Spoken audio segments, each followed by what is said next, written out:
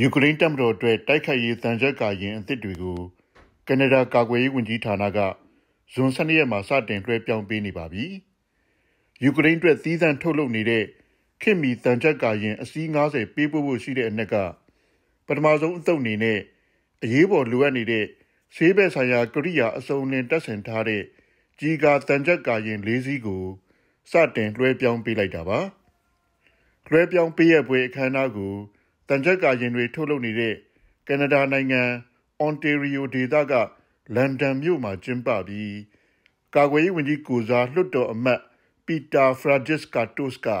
ယူကရိန်းတာဝန်ရှိသူတွေကိုလွှဲပြောင်းပေးရလိုက်တာဖြစ်ပါတယ်။သီးသန့်တန်ကြပ်ကာရင်တွေထုတ်လုပ်ပေးနေတဲ့စက်ရုံလုပ်သားတွေကိုအစိုးရအဖွဲ့ကိုစားကျေးဇူးတင်ကြောင်း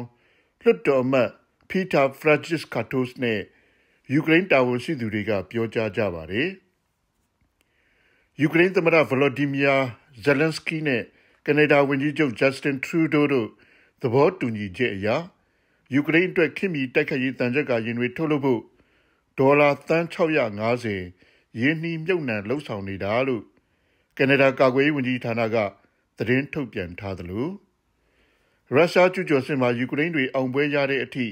ကနေဒါကကူညီပံ့ပိုးပေးသွားမယ်လို့လည်းကနေဒါကာကွယ်ရေးဝန်ကြီးဘီလ်ဘလဲက ပြောကြားထားပါတယ်ခင်ဗျာ။